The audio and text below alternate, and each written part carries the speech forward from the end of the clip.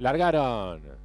Sale rápidamente hacia la vanguardia en los tramos iniciales por el centro de la pista el número 7 con ventaja sobre el 4 que lo hace por dentro, faltando 120 metros al disco. El 7 firme la vanguardia con ventaja sobre el 2, el 5, el 6, 50 metros. Siempre el 7, pocos metros. 7 con ventajas apreciables sobre el 6 que fue el segundo lugar y cruzaron el disco.